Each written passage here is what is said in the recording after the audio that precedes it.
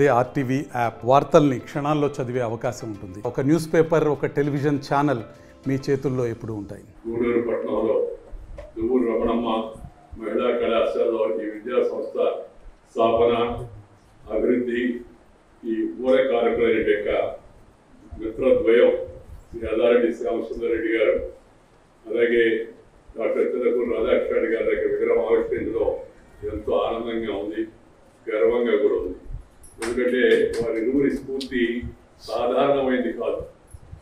ఆ రోజుల్లో గూడూరు లాంటి ఊళ్ళో అమ్మాయిల కోసం ప్రత్యేక కళాశాల స్థాపించాలన్న ఆలోచన ఎంత కష్ట సాధ్యమైందో నాకు తెలుసు. అందువల్ల ఎనగూడూరు నుంచి వారు ప్రారంభించిన పచ్చళ్ళ వ్యాపారం ఆ రోజుల్లో ఒక రకంగా ఎప్పుడో ఆ రుచి ఆ శుచి. శుచి అంటే తెలుసు శుభ్రత. దేశం అంతా మన రుచులను అందించాలని ఎందుకంటే నెల్లూరు రుచి చాలా ప్రత్యేకం. నెల్లూరు చేపల పులుసు నెల్లూరు పాచంకాయ పచ్చడి నెల్లూరు వినూరు పచ్చడి నెల్లూరు ఎండుమిరపకాయల పచ్చడి నెల్లూరు పచ్చళ్ళు. ఎక్కడికి వెళ్ళినా చాలా ప్రత్యేకం. నేను విదేశాలకు వెళ్ళినా అమెరికా వెళ్ళినా లేదా చైనాకి వెళ్ళినా మన పచ్చళ్ళు తీసుకెళ్తుంటాయి. ఎందుకంటే వాళ్ళ భోజనం మనకి అంతగా రుచికరంగా ఉండదు. ఉండదు. నా చిన్నప్పుడు గుర్తున్నాను అదేవిధంగా ఈ ఈ యొక్క దేశం పేరు కూడా మనం భారతదేశంలో మనం ఏమంటాం? మదర్ ల్యాండ్ అంటాం. మదర్ ల్యాండ్ ఫాదర్స్ ల్యాండ్ అనం మామూలుగా. ఎందుకంటే స్త్రీకి ఆ ప్రాధాన్యత మొదటి నుంచి మన పురాణాల్లో ఉంది మన పూర్వీకుల కాలంలో కూడా ఉంది. ఆ ప్రాధాన్యతను కొనసాగించాల్సినటువంటి అవసరం ఎంతో ఉంది.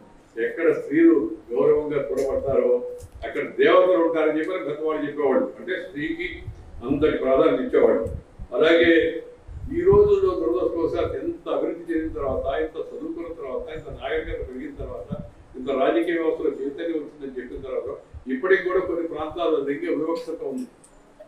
దీన్ని పూర్తిగా మనం పాల్గొనాల్సిన అవసరం ఉంది. లింగ వివక్షతని డిస్క్రిమినేషన్ తీసుకునే అమ్మాయి అబ్బాయి.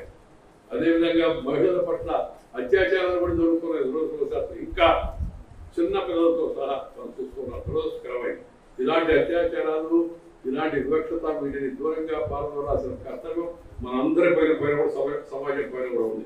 ప్రపంచం అంతా అభివృద్ధి చెందిందని చెప్పబడుతున్నా ఈ లైంగిక హింస సెక్సువల్ అసాల్ట్ అలాగే అసమానతలు బాల్య వివాహాలు ఇంకా కొన్ని ప్రాంతాల్లో అలాగే అమ్మాయిలు చదువుకోకపోవడం నిరక్షరాస్యత అలాగే వాళ్ళకి తగిన ఉపాధి అవకాశాలు లేకపోవడం ఇవన్నీ కూడా ప్రపంచ పురోగతికి అడ్డంకులుగా మారుతున్నాయి దాన్ని గుర్తించి ప్రపంచ దేశాలు మన దేశం మన దేశంలో కూడా మన ప్రధానమంత్రి బేటీ పడావ్ బేటీ పడావ్ అని చెప్పిన నినాదం ఇచ్చాడు కేవలం నినాదం ఇవ్వాల్సిన పరిస్థితి రాకుండా ఉండాల్సింది.